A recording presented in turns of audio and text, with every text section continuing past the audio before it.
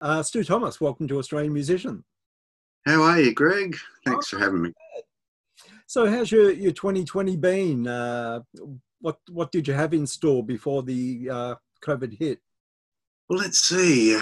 It's been about six months since I my last gig. Um, I had quite a few sort of lined up with my band. I was going to launch my new album, and uh, all kinds of stuff with the with Kim Salmon and Dave Graney.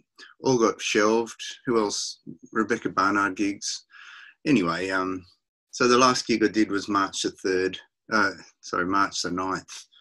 Um, but uh, uh, you know, I've been keeping busy doing online gigs, uh, solo gigs on StageIt that platform uh, where you buy a ticket and you see see an artist.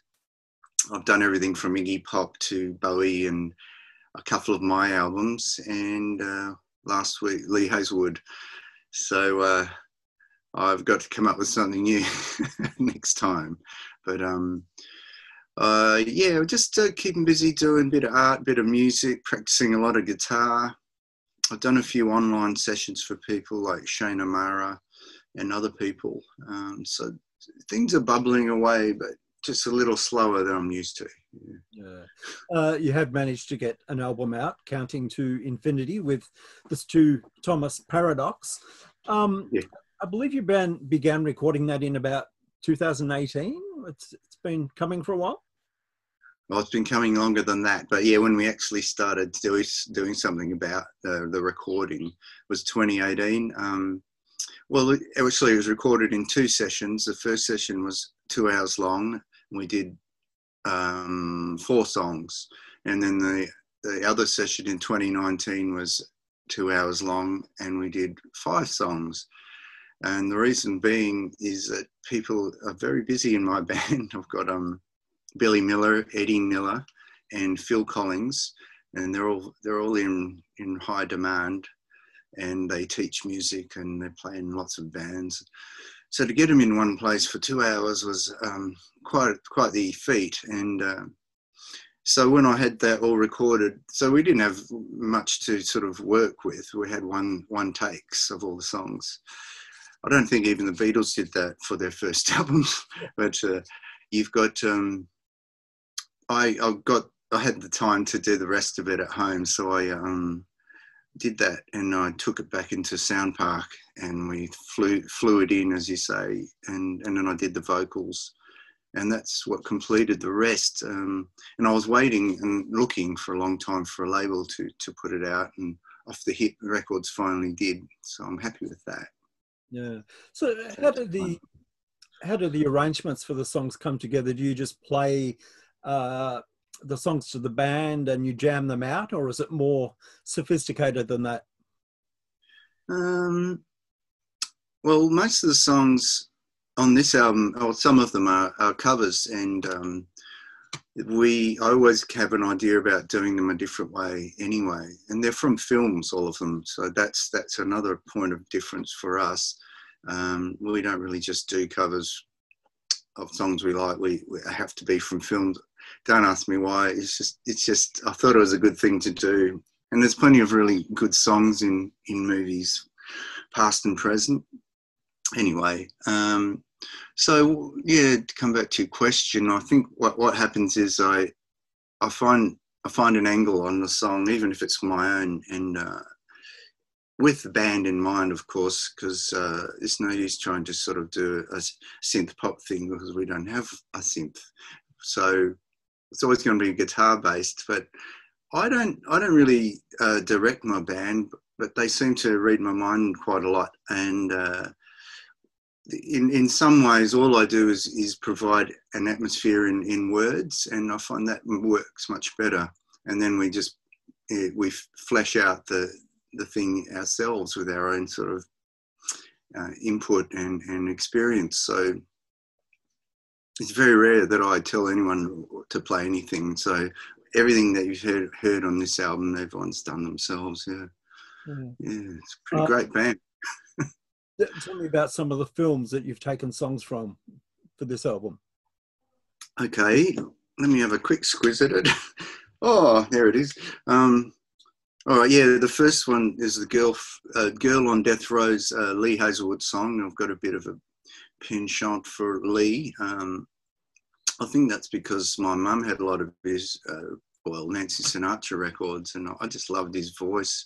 Grew up singing like that, and and as a as a grown up, I uh, have a bit of a low voice, so um, it suits me. And I, have taken that song from uh, it's from why Must I Die, which is a movie from 1960, and um, it's pretty B B grade, maybe B minus, and uh, it features in in the opening credits, I think, or maybe the closing ones, and it's credited to uh, Duane Eddy and his orchestra. Funnily enough, but Lee sings the song. Um, so just quickly, some of the other films: are Thunderball. So I'm doing this the uh, soundtrack, uh, the uh, title track and uh, that's Tom Jones, who I really love as a singer. I couldn't really do Tom; I just had to do myself. Um, and we got Johnny Guitar, which I think is, is it's almost a standard. Well, that's almost a standard cover in itself, or used to be. Every band used to do that in the '60s. Lots of surf bands, for example, and and but that's by Peggy Lee, and, and uh, that's from the movie Johnny Guitar. And the other one is uh, called Satan, from a movie called Satan's Sadists, which is a, another Z Z grade movie, and uh, it's just a biker movie, pretty pretty trashy, pretty unwatchable. Uh, but that's a great opening number as well. yeah. Um, the final note that you sing in Thunderball uh, is a mighty effort. Uh, how many cracks did you have at that? well, a few, and then the, the one that that made it through, I um, was virtually um, unconscious for. I don't know if you've ever had this uh, this experience of singing or playing on stage, Greg, where you uh, hit a note that's it's uh, takes it out of you and uh, you stop seeing anything.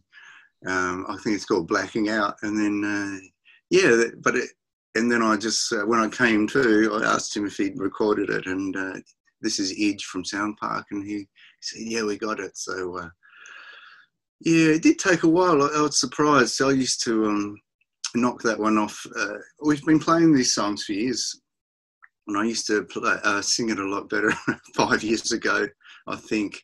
But uh, as you get older, your voice, you know, goes lower. Apparently, ask Robert Plant. You know, he'll tell you. Um, but uh, yeah, so we got it. yeah.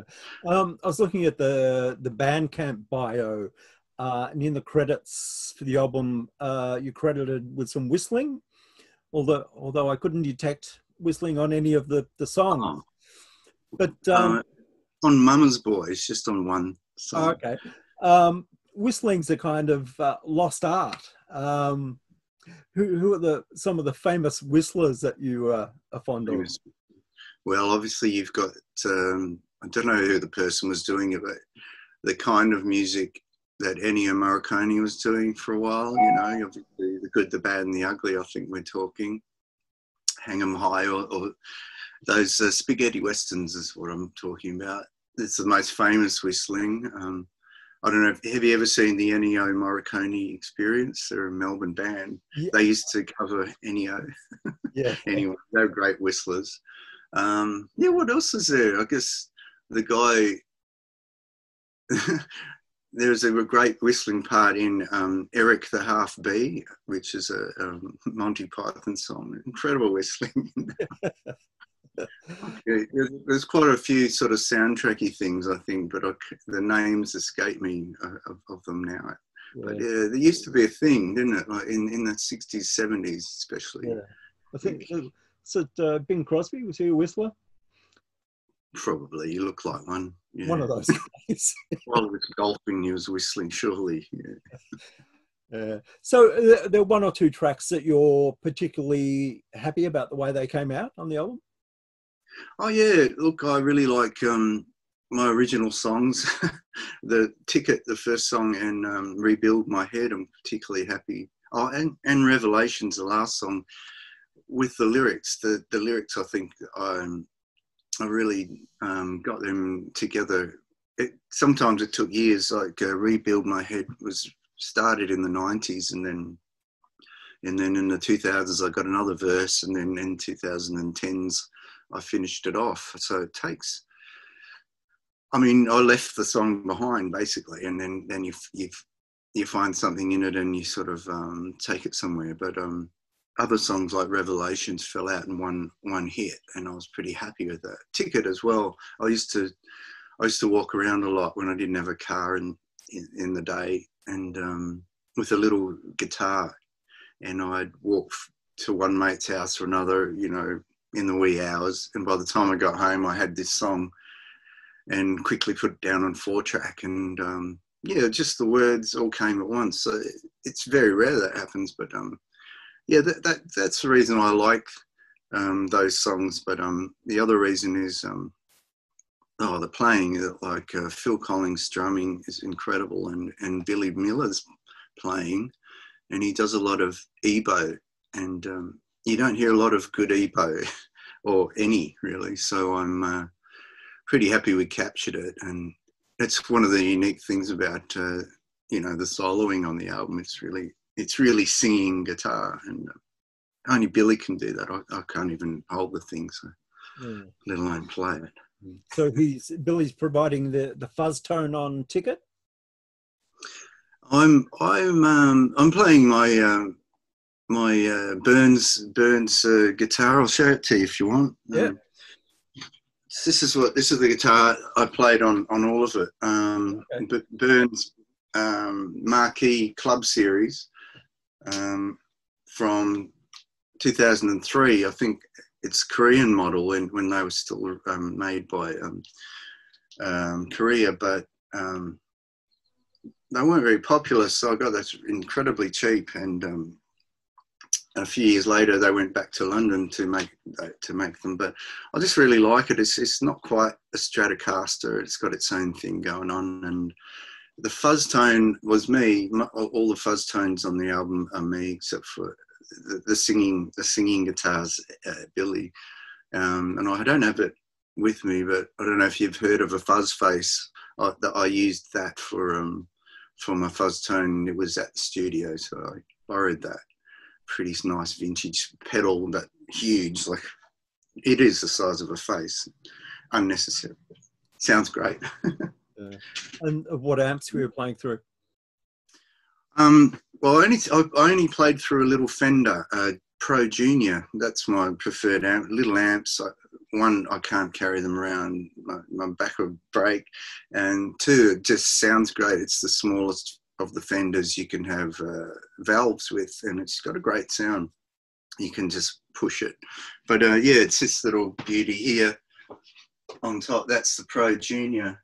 But um, when I did my overdub guitar bits, I um, did at home. I set up this system of putting the Pro Junior through uh, a little Samick guitar that I had. So we've got, uh, and then I recorded them both and separately. So we've got all that in the recording, and it's, uh, I think it's a nice sound. You know, it gives it something a bit uh, bitier because um, because the Pro Junior has only got um, um, vol- volume tre- uh, and a treble. That's it. There's, there's no other um, ways of getting uh, intonation. So I either had to get a graphic equalizer pedal. Instead of that, I put it through another amp. You know, which is I always thought might be a good idea, but it actually worked. Mm. Yeah, and that's uh, yeah, that's my guitar sounds. The only other guitar I used was the baritone guitar, um, um, also by Burns, and it looks exactly like the other one. Um, it's longer, of course, uh, and that's a Barracuda by Burns, uh, and I think that's about 20, 2003 as well, or 2007. Um, and that's, uh, yeah, I had to use that for Girl on Death Row because, you know, Duane Eddy and all that. um, I noticed you were playing a, a, a, gorgeous sounding Maton on the weekend on your Lee Hazlewood uh, uh broadcast. Um, is there any uh, story behind the acquisition of the Maton?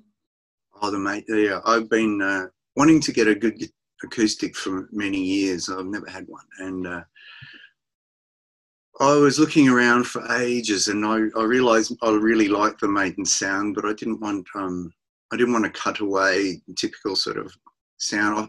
I, I found that the um, uh, the light the light looking ones uh, I don't know what the wood's called, but probably Sitka or something like that, and um, just too bright for my my ears. So I was waiting and waiting on some sort of invention, and they were talking about putting out Blackwood guitars and uh, made of Victorian or Tasmanian Blackwood. Anyway, not only do they look good, they have a sort of mellower sound, and that suits me better because, well, I'm more of my my intonation of of choice is is some more bass leaning. So I I found that they had a I tried a few of them and uh, they had a more sort of uh, yeah not not uh, not thin and and not so bright sound and I could hit them harder and and uh, which I tend to do. So I waited and um, was looking for a jumbo version, and it took ages for them to come out with that, and uh, that's what I got. So yeah, I'm pretty pleased with the old um, Blackwood Jumbo. It's a beautiful guitar. It makes everything sound really good, and it's you know, it's electric acoustic as well. So that was um, a really good find, and I'm glad I waited all this time. Um, but uh, I don't think many people are a like the Blackwoods and B jumbos. you don't see them around much. So, you know. yeah. Then, then the other the other final guitar I want to tell you about for the album is um, it's just uh, the the Fender Precision bass. It's pretty standard. I think this is from 1981. I've had it for a few years now. Yeah. But that's what I use for the Surrealists and Dave Graney. And but Eddie uses it for Stu Thomas Paradox. So that's the other sound we have. I think it's really part of our sound. The yeah. Burns and the Fender mixture, anyway. Yeah. Um, you mentioned Kim Salmon. Um, you guys have also got a new album out, Rantings from the Book of Swamp. Um, yeah. What's the best? Thing, what's the best thing about playing with Kim Salmon and the Surrealists?